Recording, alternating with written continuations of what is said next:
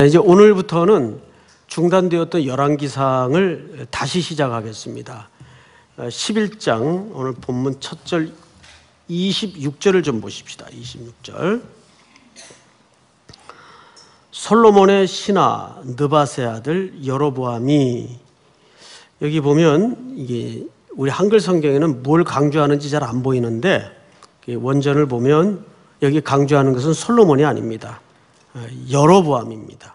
근데 여로보암이 솔로몬의 뭐로 소개가 되죠?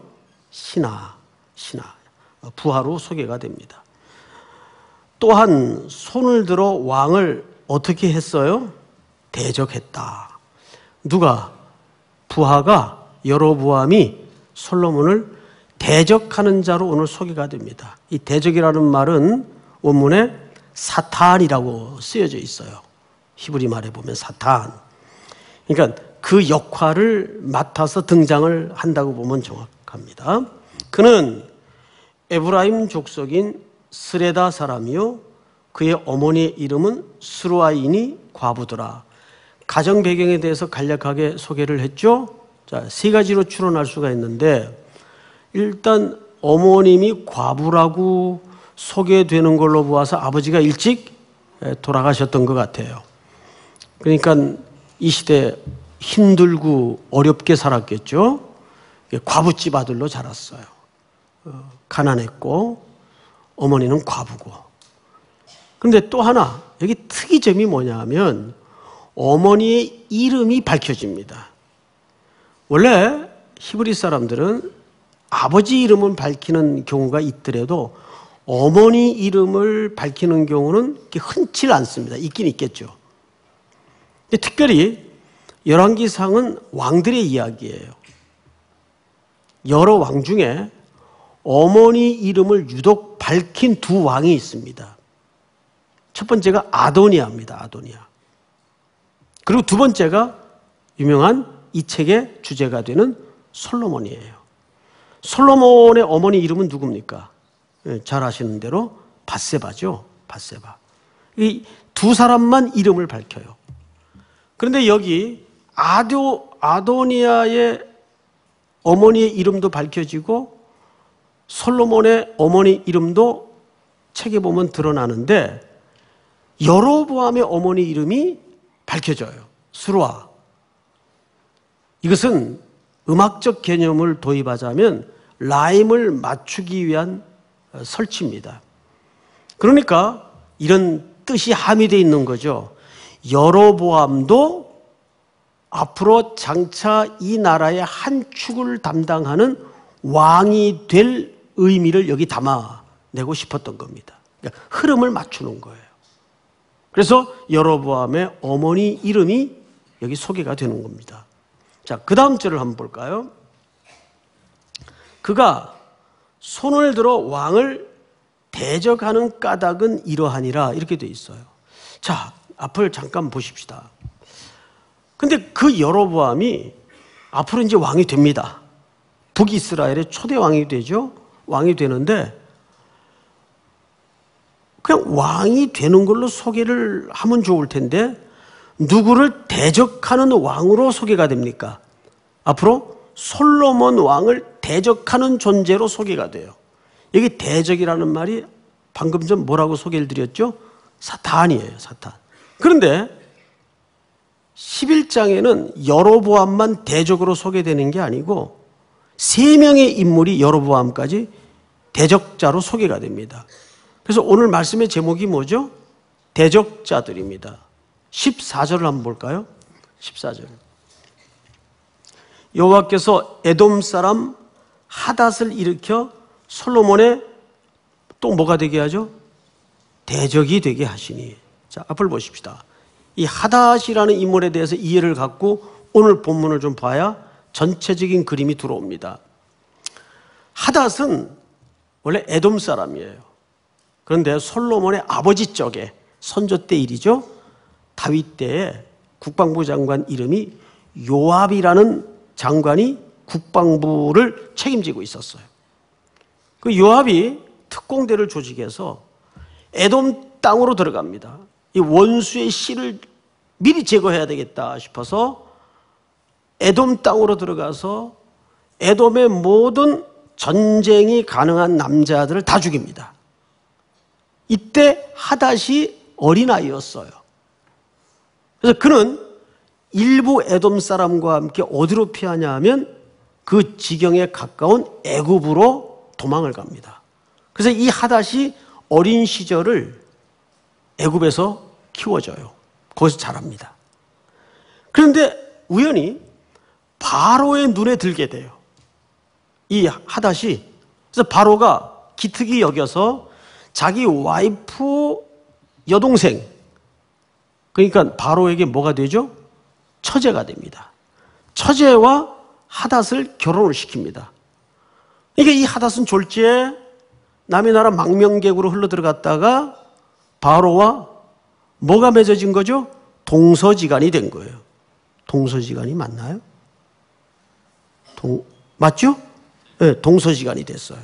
그러니까 엄청나게 벼락 출세를 한 거죠. 그리고 이제 그는 애굽에서 힘을 키우고 실력을 키워요. 그리고 먼 역사의 훗날 나중에는 하나님의 조치에 의해서 누구의 대적자로 일어납니까? 솔로몬의 대적자로 일어나는 거예요. 근데 또 한 명이 있어요. 23절을 한번 볼까요? 하나님이 또 엘리아다의 아들 르손을 일으켜 솔로몬의 또 뭐가 되게 합니까? 대적자가 되게 해요.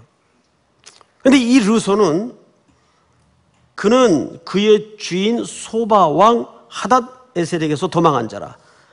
다윗이 소바 사람을 죽일 때에 르손이 사람들을 자기에게 모으고 그 무리의 괴수가 되어 담의색으로 가서 살다가 거기서 뭐가 되죠? 왕이 되었더라. 자, 이제 앞을 보고 대적들을 정리 좀 하십시다. 오늘 11장에 등장하는 대적은 총 3명이 등장을 합니다. 맞죠? 첫 번째 이름이 누구죠?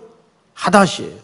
그는 아버지 쪽에 그 참혹한 일로 애굽으로 흘러 들어갔다가 거기서 성장을 하면서 급기야는 바로와 뭐가 됩니까?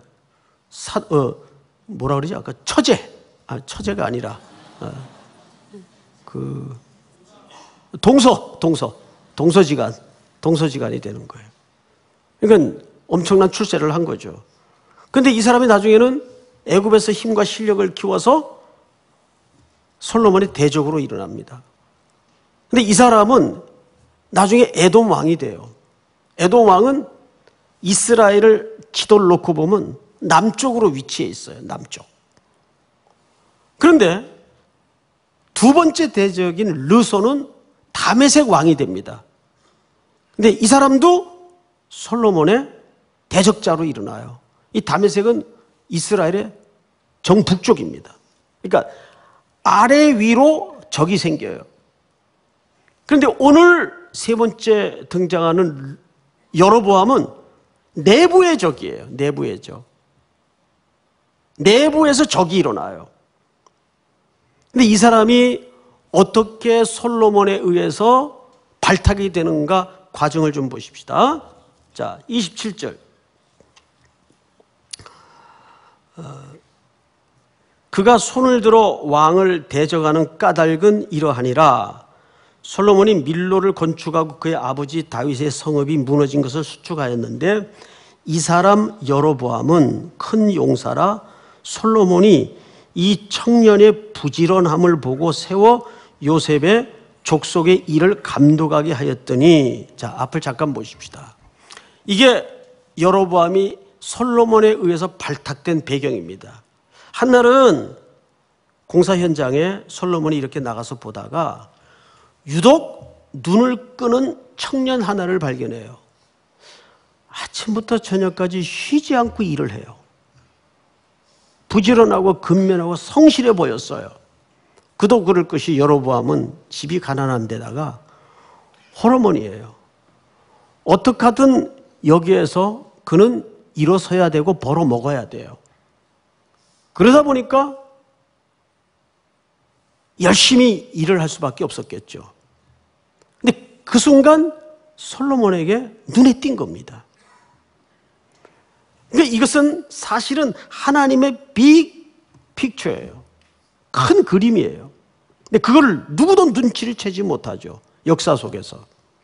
그리고 솔로몬의 신하가 됐습니다. 한날은 예루살렘에서 일을 마치고 나가다가 길에서 누굴 만나냐 하면 성경을 볼까요?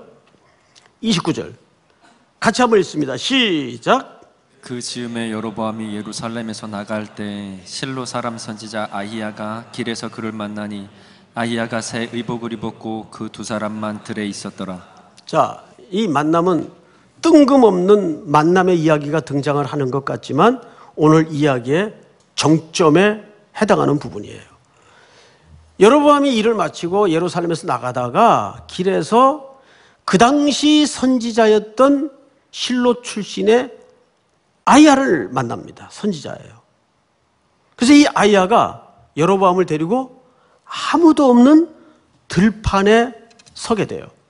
자, 세 가지 기호를 눈치채야 됩니다. 첫째, 아이야가 무슨 옷을 입었어요?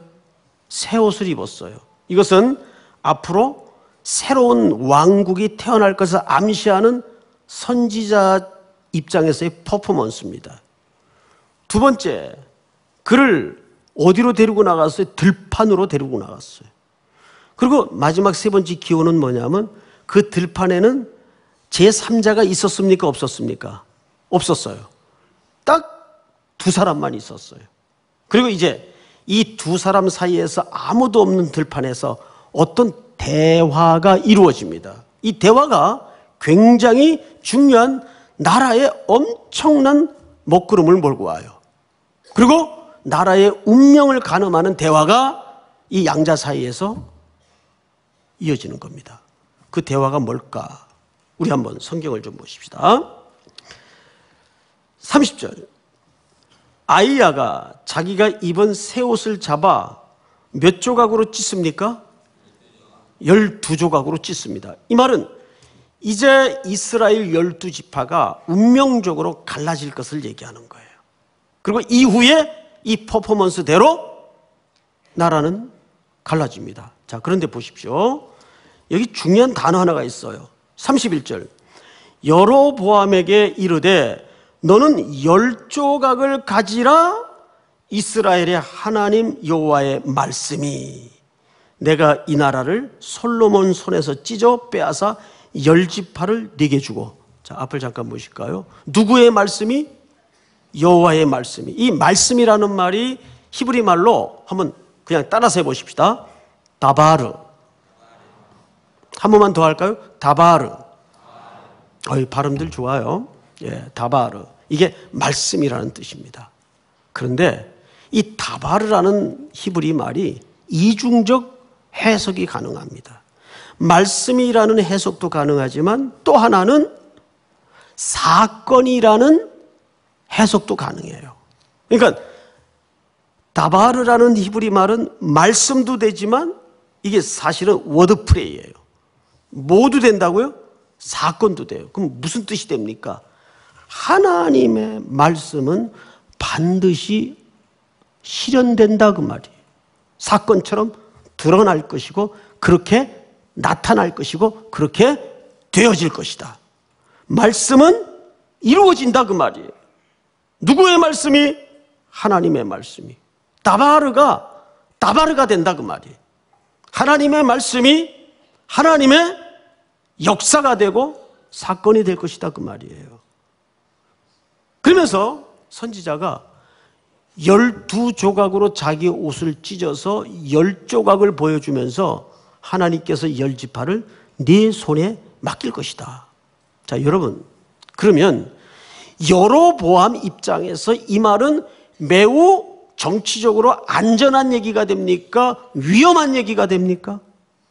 이건 굉장히 위험한 얘기예요. 이걸 가장 알아서는 안 되는 인물은 또 누굴까요? 솔로몬이에요. 그런데 아까 세 가지 기호를 말씀을 드렸어요. 이 들판에는 지금 두 사람밖에 없고 그 이야기는 누구밖에 몰라요. 여로보암과 하나님의 신적 계시를 통해서 그 말씀을 위탁받은 아이야라는 선지자밖에 몰라요. 그러면 누가 얘기했을까요? 둘 중에 하나. 이거는 누구도 얘기할 수가 없는 내용이에요. 그런데 이상하게 솔로몬이 살의를 가지고 여로보암을 죽이려고 합니다. 40절 한번 볼까요? 이러므로 솔로몬이 여로보암을 죽이려 함에 여러분 이상하죠? 이거 둘 중에 누가 얘기했을까요? 여로보암이 솔로몬에게 가서 아 제가 오늘 길 가다가 선지자 한 사람 만났는데 어, 뭐라 그러냐면 자기 옷을 막 찢더니 열 조각을 주면서 그 열 지파를 하나님이 제게 맡겼답니다. 라고 여로보암이 얘기했을까요? 정신 나갔죠. 그러면 한 사람밖에 말할 사람이 없어요. 아이야 선지자예요.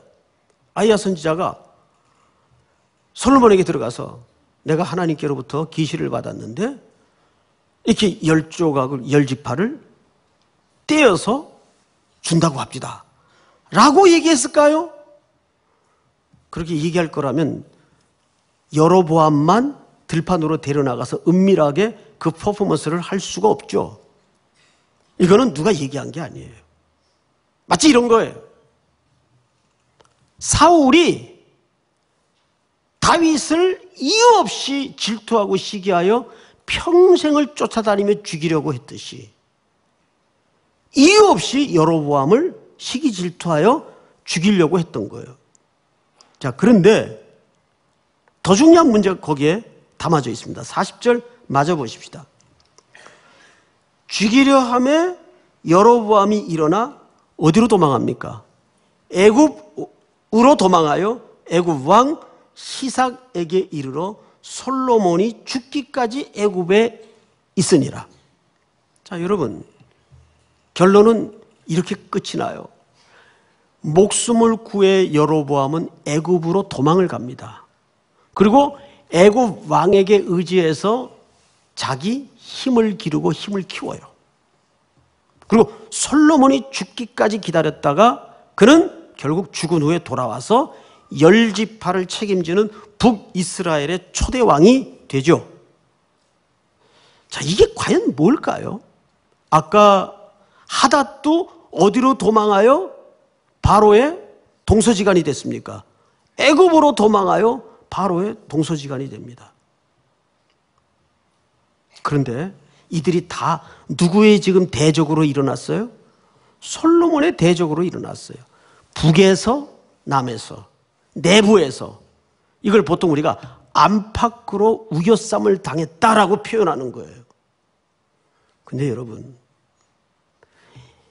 솔로몬이 평생 살면서 제일 의지했던 게 뭘까요? 하나님? 아닙니다. 우리 성경 한 구절을 좀 볼까요? 열왕기상 3장 1절을 띄워 주세요. 같이 읽습니다. 시작. 솔로몬이 애굽의 왕 바로와 더불어 혼인 관계를 맺어 그의 딸을 맞이하고 다윗성에 데려다가 두고 자기의 왕궁과 여호와의 성전과 예루살렘 주위의 성의 공사가 끝나기를 기다리니라. 솔로몬 정권 초기에 그는 부인을 어디서부터 얻습니까? 바로의 딸을 부인으로 맞아요. 뒤집어 얘기하면 누구의 사위가 됩니까? 애굽 제국의 사위가 되는 거예요.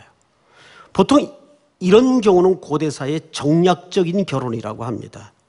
애정이 기초된 결혼이 아니고 국가의 안위와 정권의 존속을 위해서 가장 강력한 나라요 문명 국가였던 애굽 제국의 혈연 관계를 맺음으로써 그 안위를 보장받으려는 약소국들의 처절한 몸부림이었어요.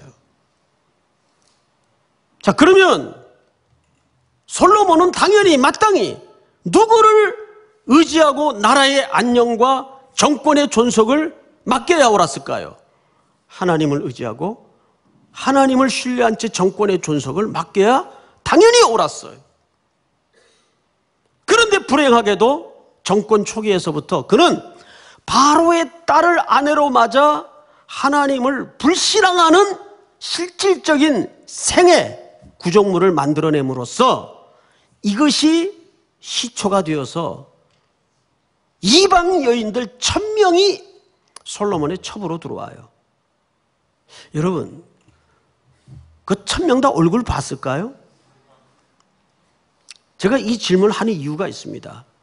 거기에는 불가피한 초대도 있었을 거라는 추측이 가능해져요. 뭐 때문에 그럴까요?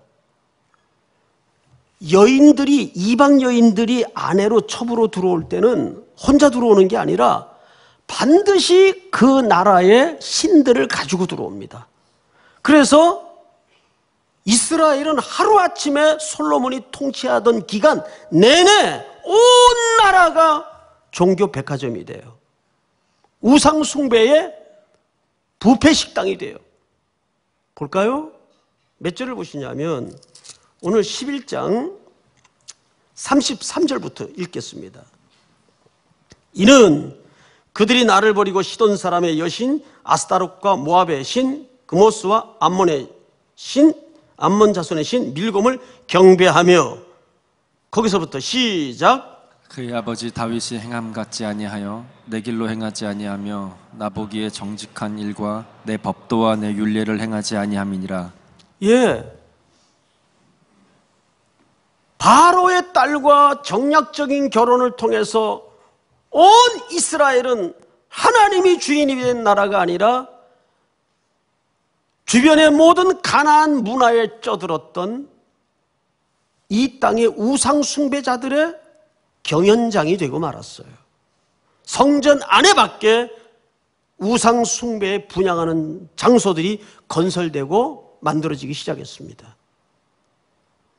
이것은 친애굽 정책과 애굽을 의존하는 정책을 정권 초기서부터 펼쳐왔던 솔로몬의 인생의 정권의 대실수입니다. 하나님은 이 나라를 사랑하시기에 이대로 둘 수가 없었어요. 그래서 뭘 일으켰어요? 대적들을 일으켰어요. 근데 여기에 너무 큰 아이러니가 감추어져 있습니다. 전부 그 대적들이 어디에서 힘이 길러졌나 그 말이에요. 애굽에서 힘이 길러집니다. 하다시 그렇고 여로보암이 그랬어요. 근데 정작 솔로몬이 가장 의존했던 나라가 어느 나라예요? 애굽이에요. 그러니까 이런 거죠. 네가 의지했던 게 애굽이라면 좋다. 그 애굽이 과연 너의 전권과 이 나라의 안녕을 보장해 주는가 한번 보자. 거기서 원수들이 일어나요. 거기서 대적자들이 길러지고 키워집니다. 이걸 보통 우리가 역사의 아이러니라고 해요. 아이러니. 살아보니 가장 무서운 게 역사라는 생각이 들어요. 사람이 무엇으로 힘든지 세 글자. 그대로 거두리라. 그대로 나와요. 얼마나 무서워요. 이것이 솔로몬을 향한, 아니, 하나님의 자녀들을 향한 하나님의 준엄한 메시지입니다. 오늘, 여기서. 여러분, 마태복음 6장을 한번 띄워 주실까요? 너희 중에 누가 염려함으로 그 키를 한 자라도 더할 수 있겠느냐? 또 너희가 어찌 의복을 위하여 염려하느냐? 오늘 본문에도 보니까 옷이 등장을 하죠. 옷을 찢죠. 여러분 그런데 이 옷이라는 말이 히브리 말로 샬만이에요. 샬만. 그런데 그 단어가 정확하게 솔로몬이라는 단어입니다. 히브리 말은 원래 모음이 없어요. 나중에 읽도록 하기 위해서 모음을 후대 학자들이 갖다 붙인 거예요. 그래서 자음으로 구성된 단어만 딱 놓고 보면 의복과 솔로몬이라는 단어가 정확하게 같은 단어예요. 여기에 또 하나의 word play가 있습니다. 이중적 의미가 있어요. 자, 28절을 보시면 또 너희가 어찌하여 의복을 위하여 이 의복이라는 말은 자기 인생의 전체적으로 추구하는 정체성을 얘기하는 거예요. 사람의 의복은 그 사람이 누구인가를 설명하는 거 아니겠어요? 그래서 의복을 위하여 염려하느냐 들의 백합화가 어떻게 자라는가 생각하여 보라. 수고도 아니하고 길쌈도 아니하느니라 29절 다 같이 시작 그러나 내가 너희에게 말하노니 솔로몬의 모든 영광으로도 입은 것이 이꽃 하나만 같지 못하였느니라. 자 여기에 보면 28절에 의복이 나오고 29절에 뭐가 나옵니까? 의복과 같은 단어인 솔로몬, 샬만 이건 모음의 배치에 따라서 발음이 틀려진 거지 단어 자체는 같은 단어예요. 자 그러면 솔로몬의 모든 영광, 솔로몬의 옷이라 그 말이에요. 모든 영광으로도 입은 것이 그 영광을 옷으로 비유했죠. 입은 것이 이 꽃 하나만 갖지 못하였느니라. 그리고 30절에 이 꾸중이 어떤 내용으로 끝나는 걸 한번 보자고요. 30절 다 같이 시작. 오늘 있다가 내일 아궁이에 던져지는 들풀도 하나님이 이렇게 입히시거든 하물며 너희일까 보냐 믿음이 작은 자들아 믿음이 작은 자들아. 솔로몬의 신앙의 핵심 문제는 뭐예요? 온전히 나라의 안녕과 정권의 이 유지를 하나님께 의존하지 못했다는 겁니다. 그가 하나님을 믿지 않는 게 아니에요. 섞어서 믿었다는 거예요. 그건 불신앙입니다. 믿음이 적은 자들아. 그래서 그 나라를, 아니, 그 백성들을 하나님이 깨우치도록 하기 위해서 나라를 갈라버립니다. 그리고 남은 자들을 통해서 계속 하나님의 숭고한 메시지를 감추어 놓죠. 그래서 인류의 저 역사 끝에 오실 메시아의 씨를 그 속에서 계속 다윗의 혈통을 통해서 암시하고 있는 거죠. 왜? 인간은 그리스도의 구속으로 바뀌는 구원받을 수 없는 존재이기에. 여기 하나님의 자비가 어떻게 감춰져 있는가를 한번 보십시다. 이렇게 되어 있습니다. 29절, 오늘 본문. 29절을, 39절을 아, 보시면 이렇게 되어 있어요. 이, 내가 이로 말미암아 다윗의 자손을 괴롭게 할 것이나 영원히 하지는 아니하리라 하셨느니라 한지라. 세상 사람들과 하나님의 백성들의 큰 굵은 차이가 여기 있어요. 세상 사람들의 징계는 그걸로 끝나는 거예요. 그걸로 그냥 끝나는 거예요. 그런데 하나님의 자녀들을 향한 징계는 영원한 징계가 없어요. 전부 일시적이고 하나님이 그 자녀를 만들기 위한 하나님의 아픈 수단일 수밖에 없다는 뜻입니다. 그것을 신약으로 넘어가서 성경 기자가 이렇게 설명했어요. 너희가 참으면 징계를 받기 위함이라. 하나님이 아들과 같이 너희를 대우하시나니 어찌 아버지가 징계하지 않는 아들이 있으리요. 징계는 다 받는 것이오늘 자녀이면 마땅히 아버지가 징계한다 그 말이에요. 징계는 다 받는 것이오늘 없으면 사생자요 친아들이 아니니라. 여기서 말하는 이 징계라는 단어가 헬라 말에는 παιδείαν이라고 되어 있어요. παιδείαν. 그 이 말은 자녀를 만들어 간다 그 뜻이에요. 그 우리가 생각하는 것처럼 체벌이나 또는 잘못하면 혼내주는 그런 단순한 벌의 개념이 아니에요. 정확하게 이 παιδείαν이라는 말은 내 자식을 만들어 간다라는 양육의 개념이에요. 그래서 하나님의 백성들을 향한 하나님의 징계의 손길은 영원한 징계는 결코 없습니다. 사랑하기에 내 아들이기에 일시적으로 아픔을 감수하고 하나님이 드시는 매에 불과하다는 얘기예요. 오늘 우리는 여기서 두 가지 사실을 걸러내야 됩니다. 첫째는 솔로몬에게 뭘 확인시켜요?